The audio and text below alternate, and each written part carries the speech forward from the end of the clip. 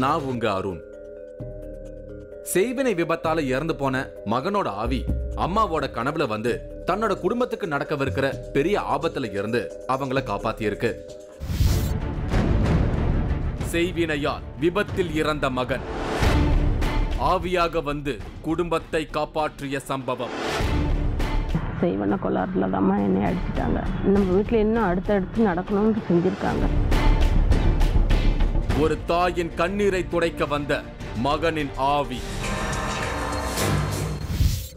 நாமக்கல் ஆதிசித்தர் பீடத்துல இருக்கிற செந்தில் அப்படிங்கிறவரை சந்திக்க நான் அங்க போயிருந்தேன்.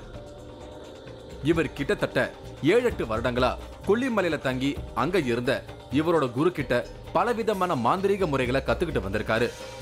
பில்லி சூனியம் ஏவல் போன்ற மாந்திரீக தாக்குதலால ஏற்படுற பாதிப்புகளை இவர் வித்தியாசமான முறையில அழிக்கிறாரு. இவரை சந்திச்சு பேசிக்கிட்டு இருக்கும்போது தான் ரொம்ப கவலை தோய்ந்த முகத்தோட ஒருத்தர் செந்தில பார்க்க வந்திருந்தாங்க. இவங்களோட பேரு காந்திமதி. வெறும் வார்த்தையால விவரிக்க முடியாத சோகத்துல ஆழ்ந்திருந்தாங்க. பிஇ மெக்கானிக்கல் இன்ஜினியரிங் படிச்சு முடிச்ச இவங்களோட மகன் கோரமான விபத்துல மரணம் அடைஞ்சிருக்காரு. தன்னோட மரணம் வெறும் விபத்து இல்ல திட்டமிடப்பட்ட செய்வினையால நடந்திருக்குன்னு ஆவியா வந்து கனவுல காந்திமதி கிட்ட சொல்லியிருக்காரு.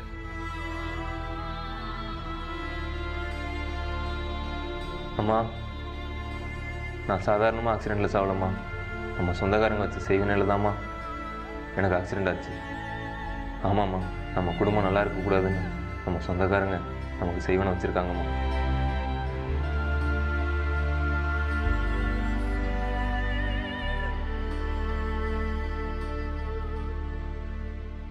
எத்தனை பசங்கம்மா அவங்க ரெண்டு பையன் ஒரு பொண்ணு. இறந்தது பெரிய பையன். எவ்வளோ நாள் ஆகுதுமா எட்டு மாதம் ஆகுதுப்பா. இறந்து எட்டு மாதம் ஆகுது ஓ பெரிய பையனா ஒரு நிமிஷம் கூட நம்ம விட்டு பிரிஞ்சு இருக்க மாட்டோம்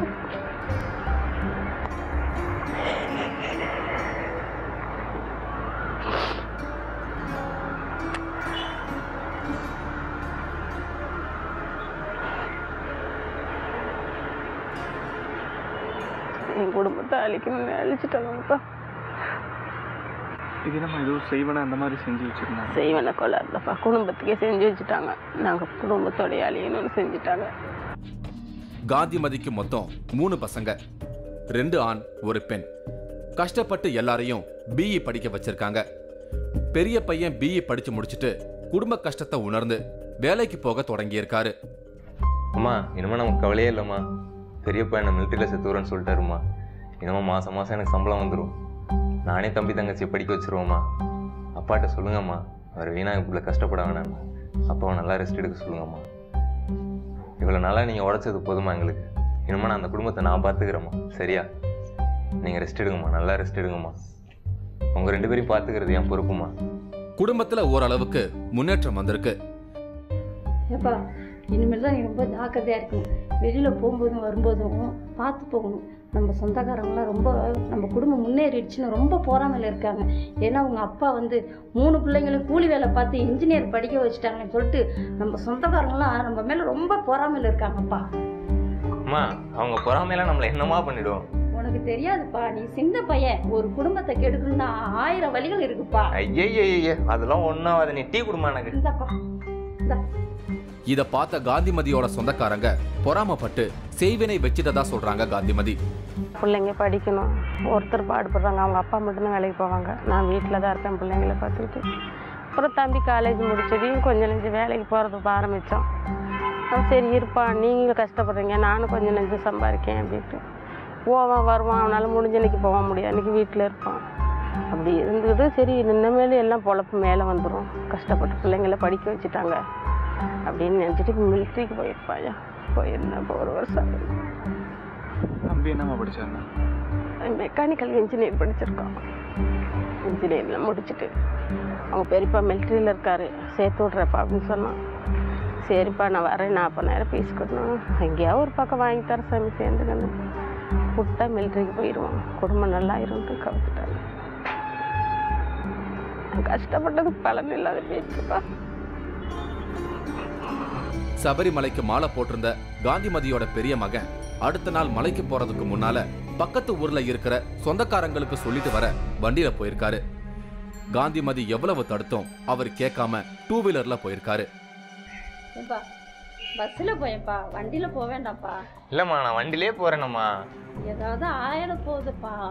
சும்மா பயப்படாதீங்கம்மா. ஒன்றும் ஆகாது. நான் தான் நல்லா வண்டி ஓட்டணும்னு உங்களுக்கே தெரியும்ல. பத்திரமா போயிட்டு வரேம்மா. ஒன்றும் பிரச்சனை இல்லைம்மா. சரிப்பா. காந்திமதிய ஒரு இடத்துல இறக்கி விட்டுட்டு போன இவங்களோட மகன் கொஞ்ச நேரத்துல கோரமான விபத்துல சிக்கி உயிர் இழந்து போயிருக்காரு. மகன் இறந்து போன செய்தியை கேட்டு கதறி இருக்காங்க. அந்த சம்பவம் நடந்து முடிஞ்சு எட்டு மாதங்கள் ஆயிடுச்சு. இப்பவும் அதே வேதனையோட அந்த சம்பவங்களை பத்தி என்கிட்ட விவரிச்சாங்க காந்திமதி. வண்டியில் போகிறப்ப சொன்னேன் இப்போ என்ன சாமி நம்ம ரெண்டு பேரும் பஸ்ஸில் போயிட்டு வரலான்னு. நம்ம வீட்லேயும் வண்டி இருக்குது வண்டி எடுக்க வேணாம். ஏன் பஸ்ஸில் போயிட்டு நம்ம பஸ்ஸில் வரலான்னு? இல்லைம்மா நான் எல்லாரும் போகிறாங்க நானும் போயிட்டு வரமான்ட்டு போச்சு. போயிட்டு தான் ஒரு பத்தே நிமிஷம் தான் உழவர் செஞ்சல இறக்கி விட்டு போச்சு. போயிட்டு ஒரு கிலோ உருளைக்கிழங்கு ஒரு கிலோ தக்காளி தான் வாங்கினேன். வண்டி ஆக்சிடெண்ட் ஆயிடுச்சுன்னு அப்புறம் எங்கள் தம்பி தான் பறந்துக்கிட்டு ஓடணும் என்ன பண்ணால் ஒன்றுமே சொல்லலை. அங்கேருந்து வந்தால் அடித்த இடத்துல ஆளை விட்டு. உசுரோட போன பிள்ளை போன மாதிரி தான் ஒரு பத்து நிமிஷம் கூட அம்மா இங்கேயே உட்காந்துரு நான் வந்து வண்டியில் கூட்டிகிட்டு போகிறேன் தினம் தினம் இறந்து போன மகனை நினைச்சு அழாத நாளே இல்ல. அந்த அளவுக்கு தன் மகனோட இறப்பு இவங்கள பாதிச்சிருக்கு. அப்பாவை வேலைக்கு போவேன்னு சொன்னியடா. என்னப்பா பண்ணுவோம். எங்களுக்கு ஆறுதல் சொல்ல யாரும் இல்லையப்பா.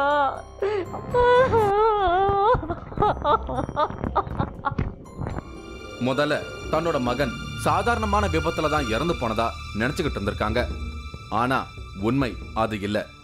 இதுக்கு பின்னால ஒரு கொடூரமான பயங்கரம் மறைஞ்சிருக்கு. மகன் விபத்துல இறந்தது மட்டும் இல்லாம இன்னொரு மிகப்பெரிய ஆபத்து இவங்களோட குடும்பத்தை சூழ்ந்திருந்தது. சமீபத்துல ஒரு நாள் இறந்து போன மகன் கனவுல வந்து அந்த பயங்கரங்களை பத்தி சொன்ன பிறகுதான் உண்மை இவங்களுக்கு புரிஞ்சிருக்கு. ஒரு நாள் காந்திமதி தூங்கிட்டு இருக்கும்போது திடீர்னு இறந்து போன மகன் பக்கத்துல உட்கார்ந்து இருந்திருக்காரு திரும்பவும் அடுத்த நாள் அதே போல கனவுல வந்து செய்வினை வச்சுதான் தன்னை கொன்னதா கதறி இருக்காரு. அதே மாதிரி தம்பி தங்கச்சிக்கும் நாள் குறிச்சிருக்காங்க. ஜாக்கிரதையா இருங்கன்னு சொல்லி எச்சரிச்சிருக்காரு. செய்வனா எனக்கு மட்டும் வைக்கலாமா தங்கச்சி பாப்பாவும் தம்பியும் சாகணும்னு கூட வச்சுருக்காங்கம்மா. தங்கச்சி பாப்பாவுக்கு மூணு மாதமும் தம்பிக்கு நாலு மாதமும் கெடு வச்சுருக்காங்கம்மா.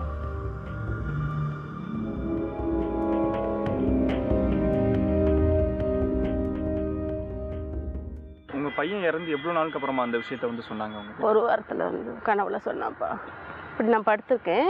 தலைமாட்டில் உட்காந்துருக்கான் அம்மா பேசணும் பேசணும்னு ஏம்மா பேசாத படுத்திருக்க அப்படின்னா. நான் சொன்னேன் காலையிலைக்கு பேசிக்கலாம் சாமி. அம்மாவுக்கு ஒரு மாதிரியாக உடம்பு இருக்குது. வந்து படுத்துக்கு சாமின்னு. அப்புறம் தலையை இப்படி தடவி விட்டுக்கிட்டே இப்படி உட்காந்துருந்துச்சு பாப்பாவுக்கு மூணு மாதம் கெடுவு வச்சுருக்காங்கம்மா. தம்பிக்கு நாலு மாதம் வச்சுருக்காங்க. நீ பத்திரமா பார்த்துக்கோம்மா இது உங்க பையனே சொன்னாங்க எங்கள் பையனே சொன்னியாலும் தான் செய்வினையால மகனை இழந்தாச்சு. இனி அடுத்தடுத்தும் மிகப்பெரிய இழப்புகள் நடக்க போறதா மகனோட ஆவி மூலமா தகவல் தெரிஞ்சதும் பதறி போயிருக்காங்க. அந்த செய்வினையை எடுக்க நிறைய இடங்களுக்கு போயிருக்காங்க. சில நேரங்கள்ல எந்த கோயிலுக்கு போகணும்னு மகனோட ஆவிய கனவுல வந்து இவங்களுக்கு வழிகாட்டி இருக்கு அதே மாதிரி மறக்காம அந்த இடங்களுக்கெல்லாம் போய் வந்திருக்காங்க காந்திமதி.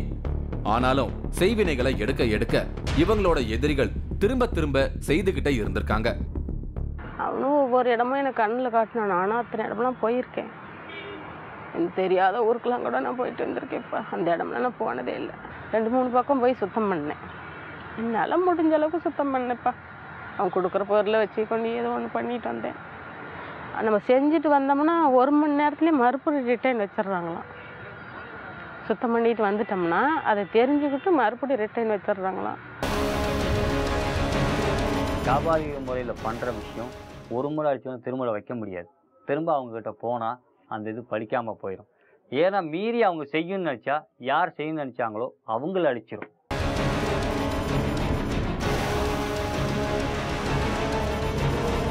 ஆச்சி மசாலா வழங்கும் மூன்றாவது கண் powered by Twin Birds legging இடைவேளைக்கு பின் தொடரும்.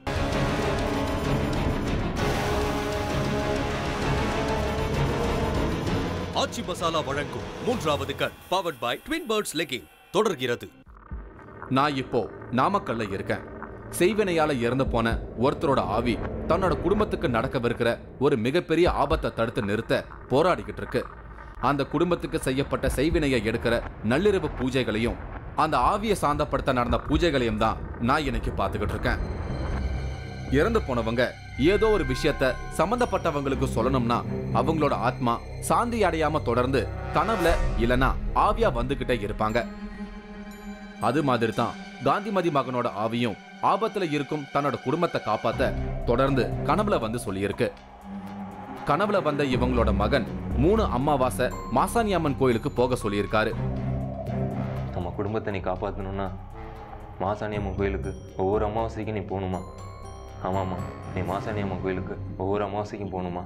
அப்போ தான் நம்ம குடும்பத்தை நீ காப்பாற்ற முடியுமா? அதே தகவலை தான் இங்க இருக்கிற செந்திலும் சொல்லியிருக்காரு.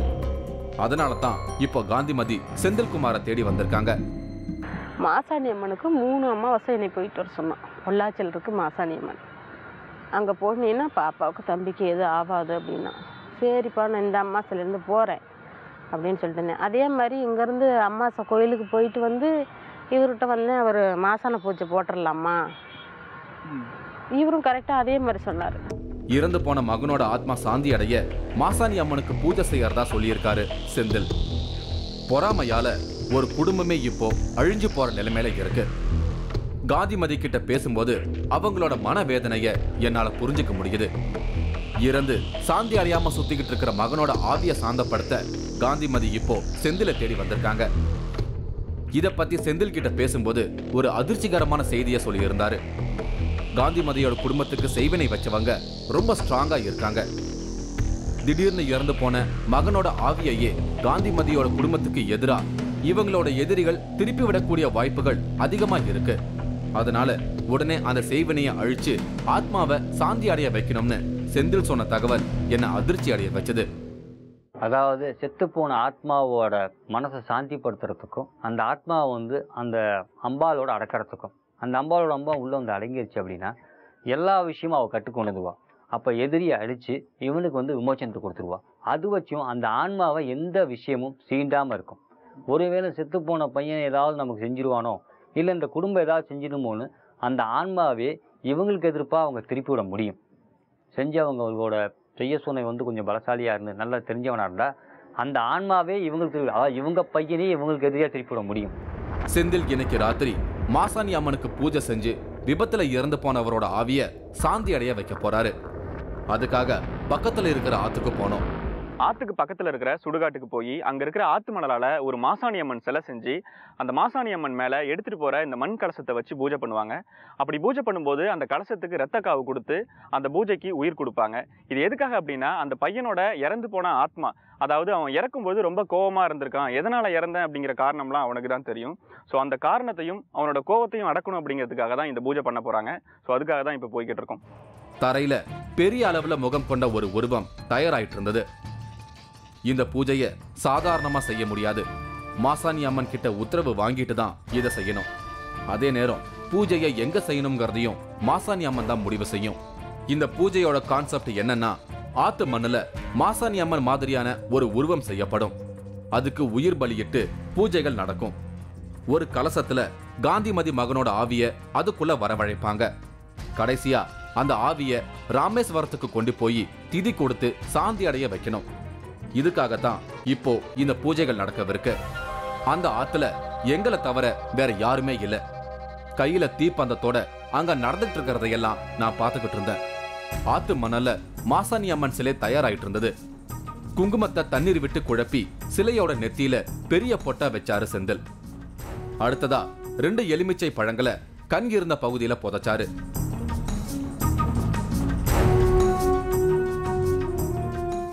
குங்குமத்தையும் மஞ்சளையும் முகம் முழுவதும் தூவினாரு. பார்க்க ரொம்ப பயங்கரமா இருந்தது அந்த உருவம். சிலை முழுவதும் தயாரானதும் சிகப்பு கலர் துணியால சிலைய மூடி அதுக்கு மேல பூக்களை தூவுனாங்க.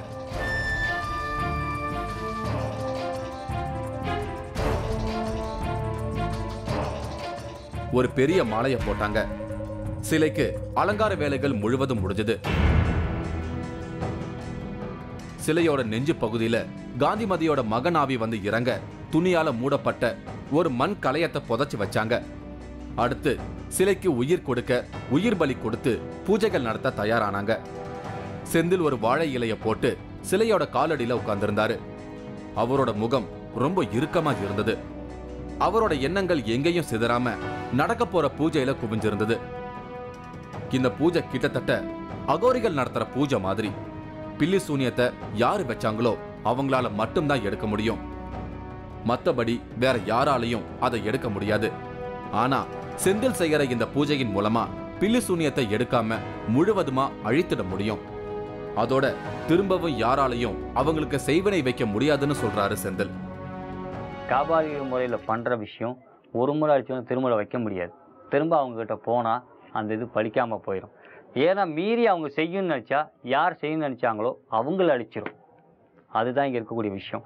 ஏன்னா மற்ற பக்கமெல்லாம் வைப்பாங்க எடுப்பாங்க திரும்ப வைப்பாங்க திரும்ப எடுப்பாங்க. இதே தான் நிகழ்ச்சி நடந்துக்கிட்டே இருக்கும். ஆனால் இங்கே பொறுத்தளவுக்கு என்னென்னா வச்சுட்டு அவங்க செஞ்சு இவங்க பாதிக்கப்பட்டுட்டா திரும்ப அதை போய் நம்ம அழிச்சிட்டோம்னா திரும்ப அந்த இடத்துக்கு யாரும் வைக்க முடியாது. ஏன்னா அந்த அழிச்ச உடனே அது அக்னி பூமியாக மாறிடும். அக்னியில் எது போட்டாலும் எரிஞ்சு சாம்பலாயிரும். அதே மாதிரி தான் அங்கே மறுபடியும் கொண்டு போய் யாரால் எதுவும் செய்ய முடியாது. அப்படி செஞ்சு மீறி மறுபடியும் மறுபடியும் செஞ்சாங்கன்னா செய்கிறவங்களுக்கு ஒன்று ரெண்டு அவசர குணத்தை காட்டும். ஆனால் அதில் உணர்ந்து அவங்க திருந்தலைன்னு சொன்னால் அவங்க உயிருக்கு உத்தரவாதம் இருக்காது. கண்டிப்பாக அந்த தெய்வம் வந்து அவங்களுக்கு கொன்றும். கருப்பு கலர் துணியை போட்டுக்கிட்டு ஆத்து மணல செய்து வச்சிருக்கிற சிலைக்கு உயிர் கொடுக்க செந்தில் தயாராக இருந்தார். வாய்க்குள்ளேயே மந்திரங்களை சொன்னபடியே விரிக்கப்பட்டிருந்த வாழை இலையில தண்ணீரை தெளிச்சாரு.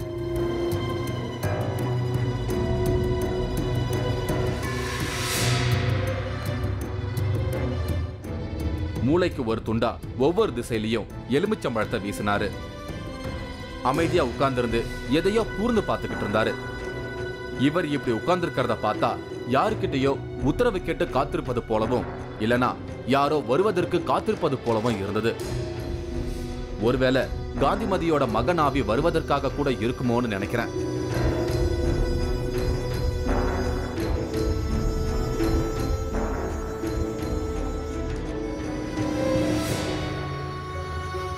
இங்க செஞ்சு வச்சிருக்கிற சிலைக்கு உயிர் கொடுக்க அடுத்து ஒரு உயிர் பலி நடக்கவிருக்கு. பலியிடுவதற்காக கொண்டு வரப்பட்ட கோழிய நெத்திக்கு நேரா தூக்கி சிலைக்கு முன்னால காட்டி மந்திரங்களை சொல்லி வழிபட்டாரு.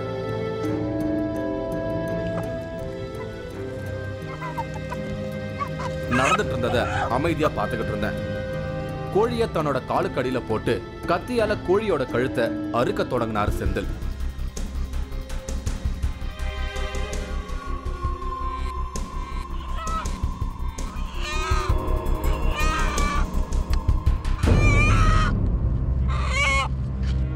கோழியோட கழுத்தை முழுவதுமா அறுக்காம பாதி அறுத்த நிலையோட வாழை இலையில வச்சிட்டாரு செந்தில். கொஞ்ச நேரம் அமைதியா இருந்தவரு சோர்வா படுத்திருந்த கோழி மேல தண்ணீரை தெளிச்சதும் அது தலைய ஆட்டுச்சு. உடனே அதோட கழுத்தை அறுத்து சிலைய சுத்தி வந்தாரு. இதுதான் பூஜையோட முக்கியமான பகுதி.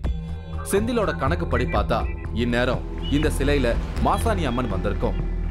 சிலைக்கு உயிர் கிடைச்சிருக்கும். செந்தில் தண்ணியோட இருந்த மண் சட்டிய சிலையோட தலைக்கு நேரா கீழே போட்டு உடைச்சாரு.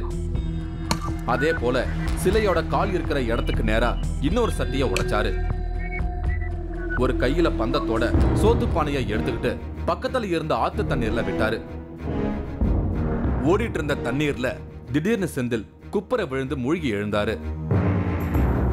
இந்த பூஜை நடந்துகிட்டு இருக்கும்போது அவர் யாருக்கிட்டையும் எதுவும் பேசல.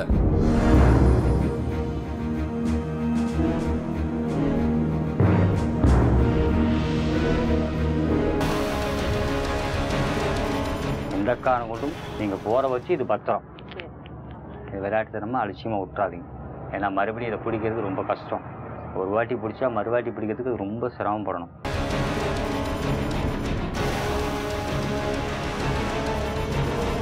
ஆச்சி மசாலா வழங்கும் மூன்றாவது கண் powered by Twin Birds legging இடைவேளைக்கு பின் தொடரும்.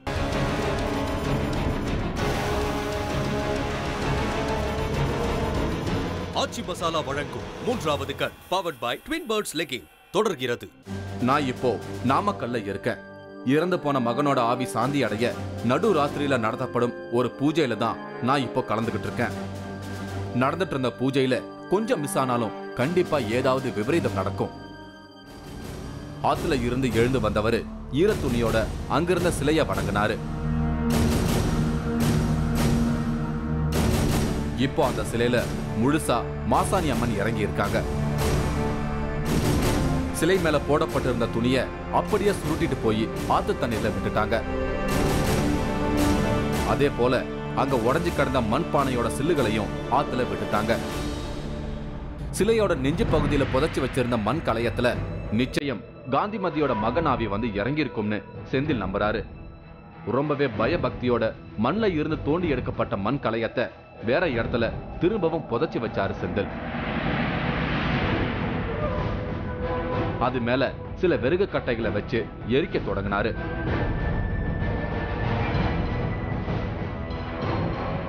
செய்வினையால இறந்து போன காந்திமதியோட மகன் தன்னோட குடும்பத்தை காப்பாத்த ஆவியா திரும்பவும் வந்து கனவுல சொல்லிட்டு போயிருக்காரு.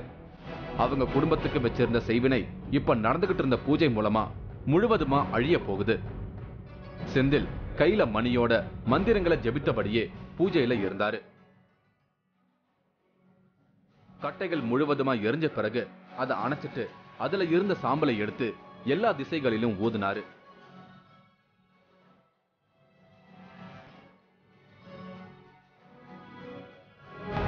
தோண்டி எடுக்கப்பட்ட மண் கலையத்தை பத்திரமா அவரோட ஆசிரமத்துக்கு கொண்டு வந்தாரு.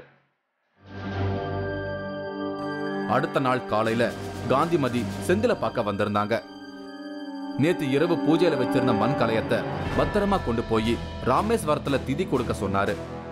சூடு அணிஞ்ச உடனே எழுந்திரிச்சு வெளியே போயிடுங்க போயிட்டு காலை மட்டும் ரெண்டு காலையும் உதறிக்கிங்க எந்த காரணத்தை கொண்டு திரும்பவும் சொல்கிறேன் எந்த சூழ்நிலையும் இந்த பானை உடஞ்சிடக்கூடாது.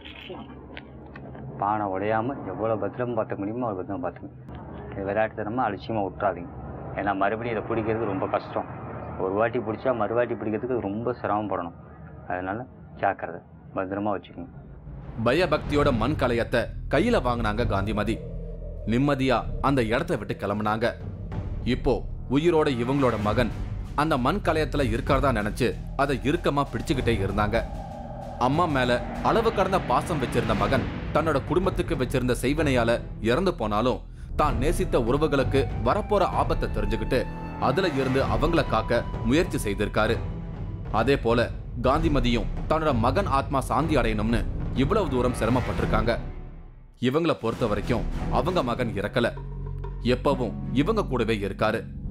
இனிமேலாவது அவரோட ஆத்மா நிம்மதியா சாந்தி அடையணும்னு நானும் கடவுள் கிட்ட பிரார்த்தனை செய்தபடியே அங்கிருந்து கிளம்புனேன். இதே போல வேற ஒரு அமானுஷ நிகழ்ச்சியில திரும்பவும் நான் உங்களை சந்திக்கிறேன். அதுவரை உங்களிடமிருந்து விடைபெறுகிறேன்.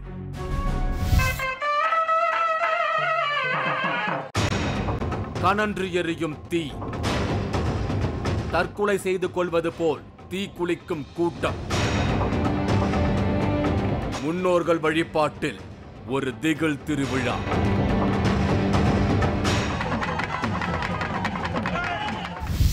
நீங்களும் இந்த திகில் பயணத்தில் கலந்து கொள்ள ஒரு வாய்ப்பு.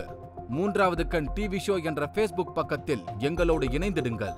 உங்களது அமானுஷ்ய அனுபவங்களை பதிவு செய்து இந்த நிகழ்ச்சியில் பங்கு பெறும் வாய்ப்பை பெறுங்கள்.